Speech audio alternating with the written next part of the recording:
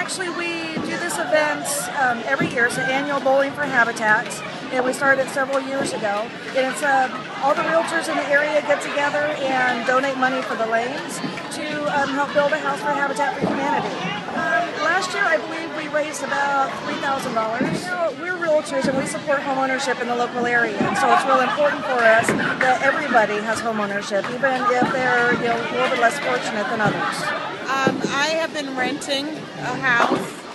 Well, originally, what got me to um, being interested in the in the program was I was a survivor of a domestic violence marriage, and I just really wanted to be able to give my children a better future and know that, and I knew God was the key to that future.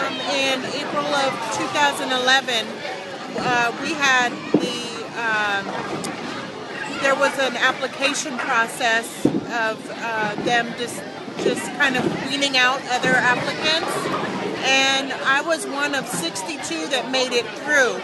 And then from there, the list went down to 10. And then from there, the list went down to six.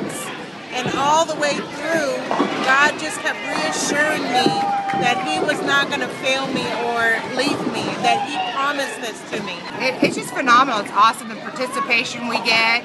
Um, it's a lot of fun, and it, the money goes it goes to a great cause. It's just amazing certain things that you can do to raise money and bring people together.